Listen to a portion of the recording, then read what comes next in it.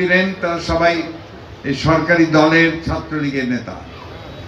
এবং পত্র পত্রিকায় সব জায়গায় ছবি সহ বেরিয়েছে যে তারা এই হত্যাকাণ্ডে নেতৃত্ব দিয়েছে।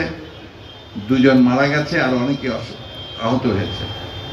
অথচ দেখেন এই সরকারের পুলিশ, তারা আসামি করল আমাদের সেই এলাকার যে সভাপতি, বিএনপির সাবেক সভাপতি, তাকে বেশ কষ্টের একটা মাস হয়ে এসেছে।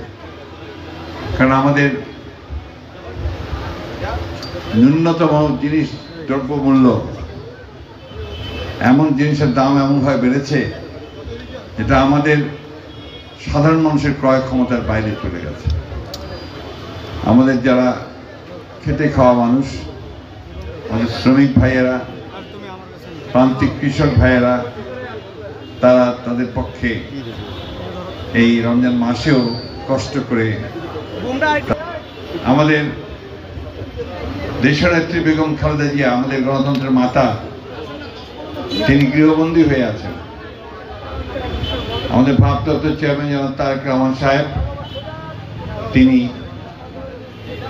দেশের বাইরে মিথ্যা মামলায় সাজা মাথায় নিয়ে নির্বাসিত অবস্থায় আছেন। কিন্তু কি দুর্ভাগ্য আমাদের আজকে পঞ্চাশ বছর পরেও আমাদেরকে বলতে হচ্ছে যে সেই বাংলাদেশ আমরা পাইনি। আজকে আমাদের জীবনের কোনো নিরাপত্তা নাই, আমাদের সন্তানদের কোনো ভবিষ্যতের নিশ্চয়তা নাই, আমাদের মানুষ যে স্বাস্থ্য সেবা পাবে হাসপাতালে গিয়ে তার কোনো নিশ্চয়তা নাই, শিক্ষা ব্যবস্থায় যে একটা নিয়ম নীতির মধ্য দিয়ে আমার সন্তানরা শিক্ষিত হবে, তার কোনো নিশ্চয়তা নাই। অর্থনীতির পাট চলছে, লক্ষ লক্ষ কোটি টাকা পাচার করে দিচ্ছে দেশ থেকে। দেখে যেন মনে হয় যে বর্গীরা যেভাবে এই দেশে এসেছিল। সব কিছু লুট করে নিয়ে চলে যাচ্ছিল।